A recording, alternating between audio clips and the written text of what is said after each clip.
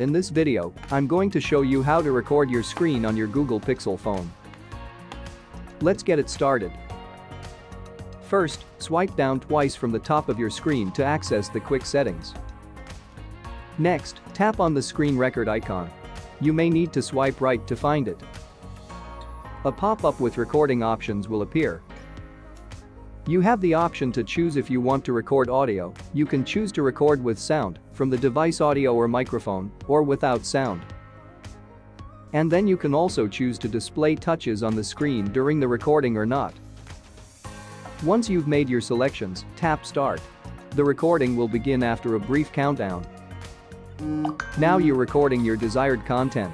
Whether it's a video call, game, or app, you're now capturing it all.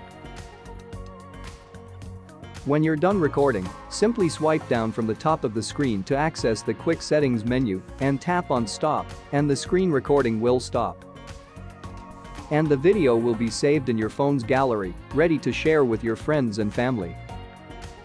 Thanks for watching. Don't forget to like and subscribe for more videos.